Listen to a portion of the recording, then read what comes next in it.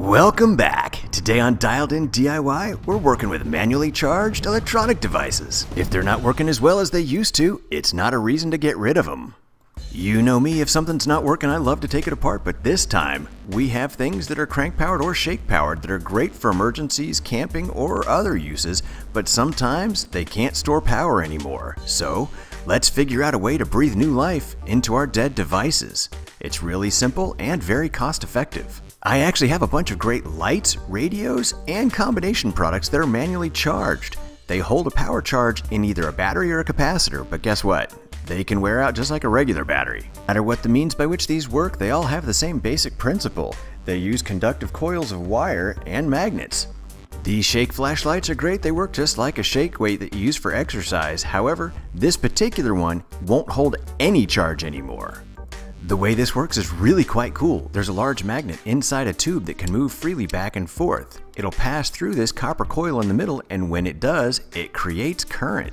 That current is then stored as power in either a rechargeable battery or a supercapacitor, and most of these shake flashlights use the supercapacitor approach. The crank charge products also use a form of electromagnetic induction to create current, and it works really, really well. In fact, many times these can put out more in a shorter period of time, which works quite effectively. You'll notice that this one, just like the previous light, can't hold a charge anymore either. It'll only light up while it's being cranked. As soon as you stop cranking, that's done. So, let's start fixing these things. This particular kind of light's quite easy to work with because all I have to do is remove these four screws from the back and then I can slowly start to separate the case. But you'll notice at this point it stops towards the front because there's some flashing lights on the side that have these little amber covers on them. So I'm going to carefully start to pry these out so that I don't break them because I want to put them back intact. When you open this one up on the inside, you're actually going to find a rechargeable battery. And guess what? It looks like a typical, normal, rechargeable button cell battery. And the reason it looks that way is because it is. These batteries are actually glued in place two different ways. There's an adhesive that holds the lead contacts to the battery, and then there's also hot glue that holds the battery in place. We need to carefully remove all of that and slide the battery out.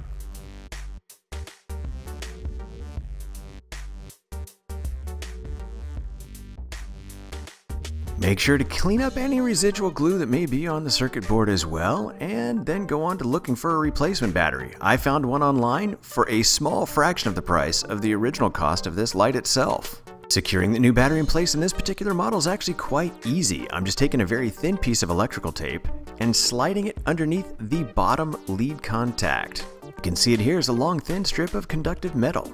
I'm then going to go ahead and put the battery back in place in the same orientation that the first one was in, positive side up. Then just wrap the rest of the tape all the way around the battery and the top contact point. I then go back with some hot glue and make sure the battery stays in place and isn't going to slide around while the light's in use. Flashlight in the bottom left corner also had a rechargeable battery inside, but this particular one also ran a radio. The battery could also be found online so that I could replace it as well. But here you see these two lights are actually identical. I had two of them that were dead and I fixed them both. Well, it's time to go on to putting them back together. The first thing you need to do is just get the wires out of the way and put the top part of the shell back in place. It's not time to add the screws back yet though because we need to put these little side covers back in. You have to do that with the case with a little bit of flexibility to open back up. That way they can snap fully back into their position, then you can put the screws back in.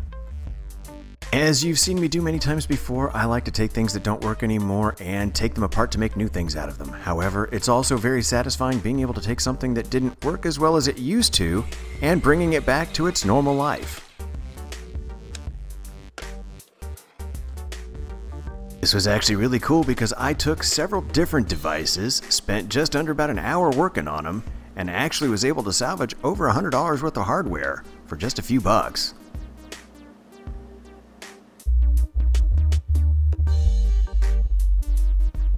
Thank you for watching. Please press like and then subscribe. There will be more dialed in DIY to come.